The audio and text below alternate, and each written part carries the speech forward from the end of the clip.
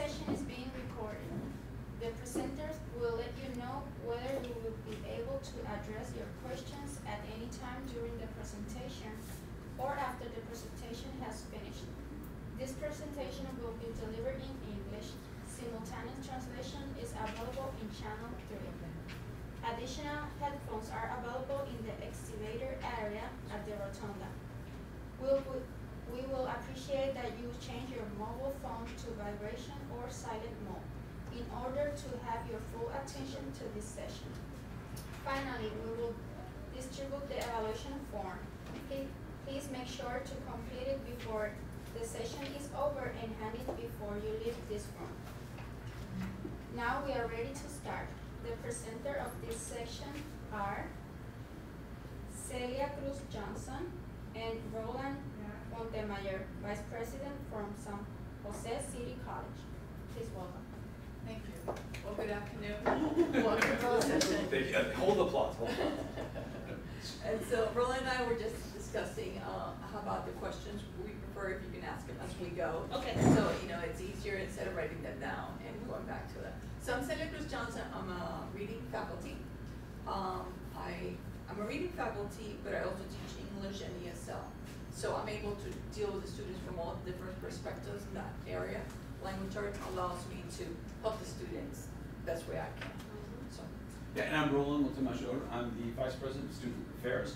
And we have a real, uh, strong collaboration with, uh, academic affairs, but particularly with Celia. And so we'll be talking about, a little bit about how counseling, assessment, registration, and our intervention programs work closely with, uh, the reading class and developmental English in general. Well, the reading class, uh, this is a special reading class, it's two levels below English one A and a, a freshman composition. And it's at a level from four to sixth grade, or sixth to eighth grade for students. Students have those reading skills, are placed there. So it's particularly different because, um, it is offered at a junior college in the Silicon Valley, part where all the technology is. You expect the students to be really prepared for an education, but that is not what we're receiving. So, uh, the class is a little bit different because it's not, I used to teach it a sixteen week in the semester. I realized I was losing students along the way. And in two thousand three, I decided, let me try something different, let me try a hybrid. Because the students were leaving, they had work responsibilities, family responsibilities. So in two thousand three, we did a hybrid, again, semester long. Um, several years later, I realized retention was being affected as well as persistence. I said, something's wrong. So I decided, I requested that we teach it, that I teach the course late start. So in 2014, 2013, I was given the permission to try it that way. And since then, it's a late start, it's hybrid. They only come to class one day a week. On Tuesdays, and on Tuesdays, I front load the skills. And uh, here's the basic information I just mentioned. It's a late start because it's four weeks into the semester. So if I could just add Yes. something. So I want to just tell you a little bit about our college. So what happens, we have about twelve to thirteen thousand students. We're a multi-district college. And about seventy percent of our student population takes some developmental uh, class, either math or English. And uh, our demographics, we have about thirty-eight percent of our students are Latino.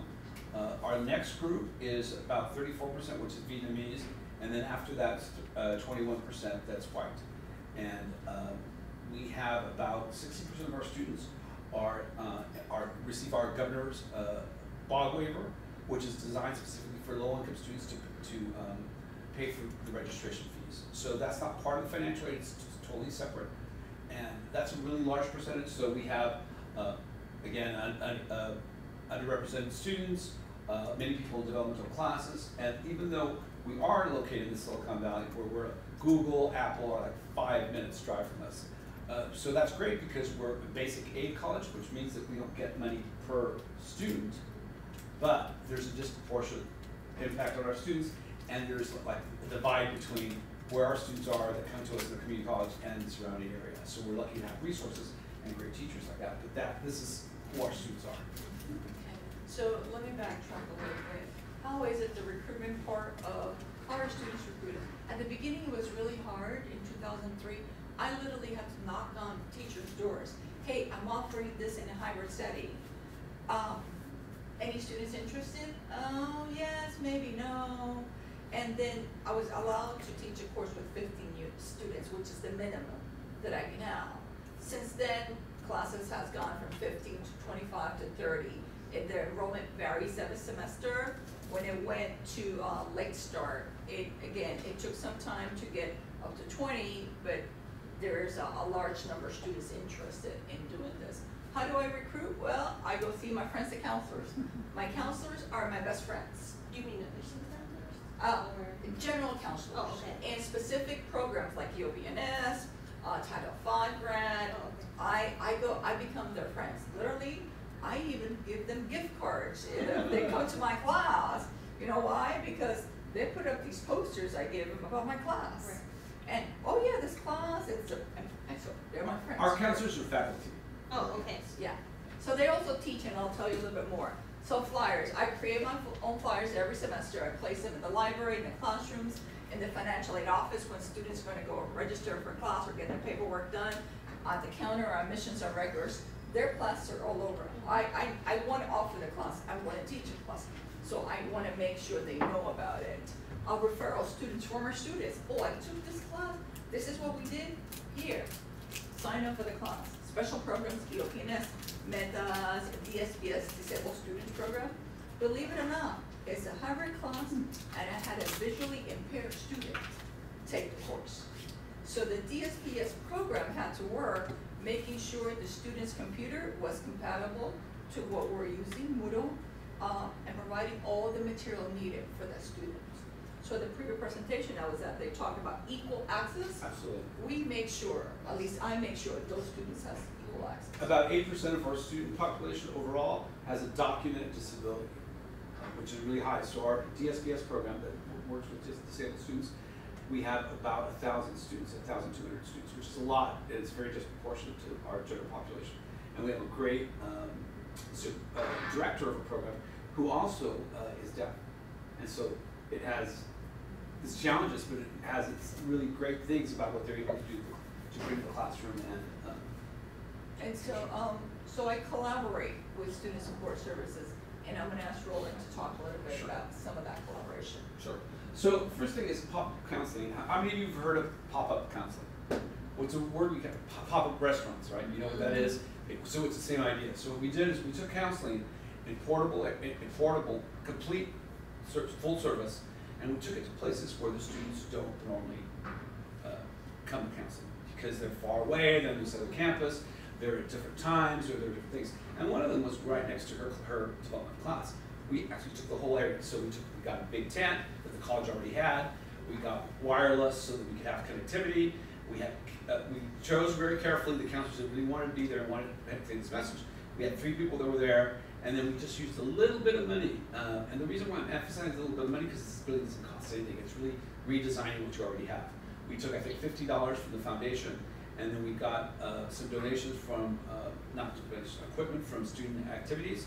So we had a wheel that gave dollar prizes, we had pizza, uh, and, and we had three counselors there, and we had advisement, and, you know, we really did a nice job, so it was, it was fun and attractive, and then we worked with our faculty, and they brought students in. So within, you know, it's, it's not a big deal, but I'll tell you, we did this five times, and on average, we saw hundred students, and seventy percent of those students had never seen a counselor before. And so it had a residual effect too. Our faculty were then excited about it and say, hey, I wanna hear what you guys are doing. So when we were talking about the ed plan that you have to have, your assessment and your, uh, your, your, uh, orientation, they go, oh, I finally see it, I understand why you guys are doing this, I hear what you're saying with students. So then from there, we went and we got twelve, uh, classrooms that they invited us to come into with an average of twenty-five students.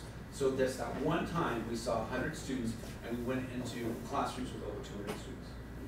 And then we were able to do the in-class orientation, assessment, and, uh, planning, and so these classes working as we did. And why are those important? Because at our, at our college and the system in California, there's a, a new initiative, and if you have those three, you get priority registration. So that was, the, the, the aha moment was for the students and the faculty member, and Celia led the way in her division, they say, oh, I get it, so now my class, my students are gonna be behind yours, Yeah. because they have done this. And that's, that was the, you know, the carrot to go in it, so it's really the message, and then packaging it together. And you know, we took pictures, and the students were really excited about it. And so it was really a learning experience for all of us. And part of this is that we have an electronic ed plan. And the electronic ed- plan is so that you can see your ed plan twenty-four seven, you can revise it, uh, it's connected to our uh, catalog and our articulation agreements. So then a student can then be empowered and say, oh, I wanted to do ECE, but now I'm thinking about um, education. They click and it's on the, the ed plan, and it will tell them how much left they, how, how many courses they have that already meet that major, and how many courses they have. So do the email. Exactly, so it evaluates where they are uh, right away. And so what happens is it's not a tool to use without faculty, it's a tool to use with faculty. So now that student can then talk to the reading instructor that's not a counselor, but tell them where they are. And then uh, to the English instructor or to the counselor. So that session isn't the, the passive kind of counseling that we used to do, where I sit here and then, you know, the, I'm over here and I'll tell you what to do. Mhm. It's, the, the student is informed about what's going on, they go through the mandatory orientation, uh, they see this tool, they're, they're, uh, once they've done the orientation, they have access to it. So it won't be their official ed plan until a counselor sees it, but they can play around with it, they can look through, they can explore different majors, it's all mapped out for them. And it took a lot of a lot of time to do it, because you have to backfill the catalog. So the catalog has to be there for previous years, so that if a student has taken the class before, and all this equivalent, so it takes a lot of work, but it really then impacts the success in the classroom. And for our developmental, or students in developmental classes, we found that they were the ones who were least likely to see a counselor, least likely to go to the orientation, and least likely to be assessed properly. And so with collaboration with student services and, um, and instruction, uh, all our um, ESL courses, I mean, all of our ESL students are actually go through a special orientation that is led by both departments. So the counselors, counselors do the uh, overall college orientation, and then the placement is actually done in collaboration with uh, our uh, English faculty. And speaking of collaboration, there's more collaboration.